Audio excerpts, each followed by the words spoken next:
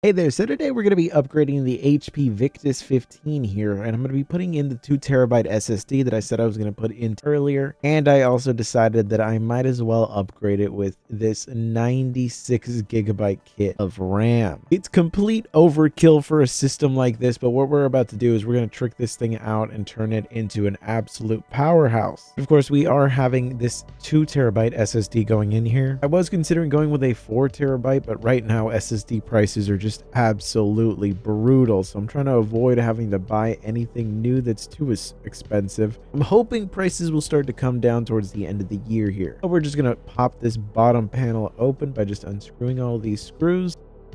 And now that we're actually in, the entire upgrade process is going to be extremely easy. Underneath this shroud here is our RAM, and that's going to be very, very easy to access very easy to upgrade. But you get this system by default. Remember that it only comes with one single stick of 8 gigabytes. But no matter what, it's worth opening the system up and upgrading it. My recommendation is 32 gigabytes. Bare minimum that you should go with is 16. 96 is honestly absolutely overkill, but we're going for it anyway.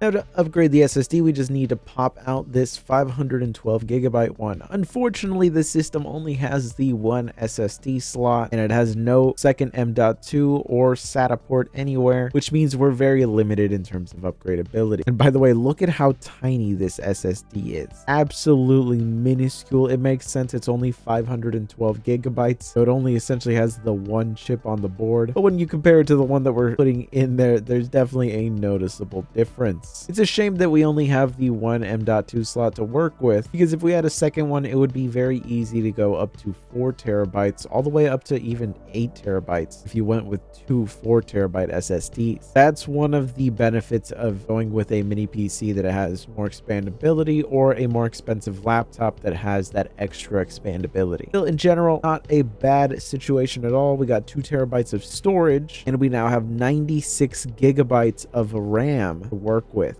Okay, so now that we have the entire system closed back up, we can start it up. But remember, we only have the one SSD slot, which means that we are going to have to reinstall Windows. So I'm going to need to get a bootable USB so that we can boot in and actually install Windows. And we can see how difficult the process is going to be here because with some systems, when you're reinstalling Windows, it can be a huge hassle in terms of drivers. So I want to know just how much of a pain this system is going to be. let's go through the entire boot up process. Okay, so it was a little annoying to get here, but we are now in the install screen, and I'm just going to delete all of these other installs that I had. This already had Windows on it, but obviously it was installed on another system. So because of that, it was kind of just showing up as it already had Windows, but it wanted a BitLocker unencryption key, but I'm just completely wiping it. All right, we got Windows installing, so now we're going to go through the entire driver installation process. We'll see if we can even get Wi-Fi on here. I might need to hook up an Ethernet. Okay, so I'm having an issue issue where the Wi-Fi isn't working, so we're to get Ethernet hooked up to this. Okay, so it has been several hours later. I ended up running into an issue where it wasn't just the Wi-Fi that was having issues, it was the Ethernet as well, where every time I would plug in the Ethernet cable, it would say it's connecting to the network and it would just be stuck trying to connect to the network and it just never would actually connect. And that actually prevented me from ever continuing the Windows install. Of course, I just had to open up the command line and I could bypass all of those things. But what I actually had to do was I had to use my USB-C adapter that has an ethernet port to even get internet on the system so I can update it, download all the drivers. Thankfully, I could download all the drivers directly through the Windows Update Manager so I didn't have to look for anything on the HP website website, but I did need to have the internet connection for all of it to work, which means that if you're doing this kind of upgrade and this is your only device, I would recommend getting some kind of USB Ethernet